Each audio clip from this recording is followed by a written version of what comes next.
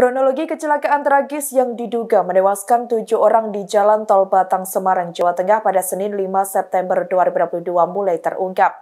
Diketahui insiden nahas ini melibatkan dua kendaraan yang melintas tepatnya di kilometer 375 jalur A, Desa Sawangan Gringsing, Batang, Jawa Tengah. Dikabarkan kecelakaan maut ini melibatkan kendaraan Toyota Hiace dengan truk trailer. Berdasarkan sejumlah keterangan pers yang beredar, Toyota Hiace awalnya melaju dari arah barat ke timur di lajur kanan dalam kondisi cuaca cerah.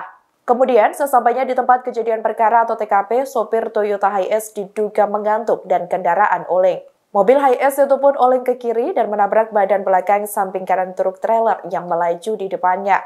Selanjutnya, Toyota Hiace lalu oleng ke kiri dan tidak terkendali hingga akhirnya masuk ke parit. Berdasarkan informasi sementara, diduga ada sebanyak tujuh penumpang tewas dalam kecelakaan ini. Sedangkan petugas masih melakukan olah TKP dan pendataan korban yang terlibat dalam insiden tersebut. Atas kejadian itu, mobil Hiace yang terlibat hancur tak berbentuk. Bahkan, hampir setengah badan kendaraan tersebut mengalami kerusakan cukup parah, di mana pada bagian depan mobil Hiace remuk dan sejumlah spare part tampak berantakan. Sesaat setelah kejadian dan proses evakuasi korban, kedua kendaraan pun diamankan oleh aparat kepolisian. Terlihat sejumlah polisi yang bertugas sudah berada di lokasi kejadian. Sampai berita ini diturunkan pada Senin 5 September 2022, belum ada penjelasan lebih lanjut terkait kecelakaan tersebut, termasuk identitas sejumlah korban laka lantas yang juga masih dalam proses pendataan.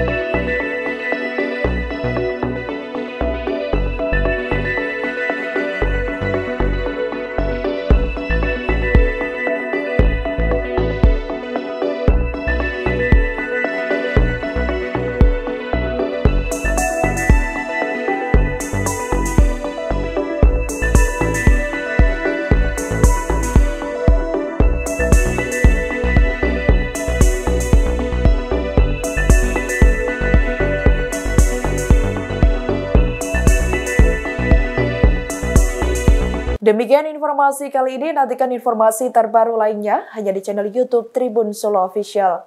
Terima kasih sudah nonton, jangan lupa like, subscribe, dan share ya!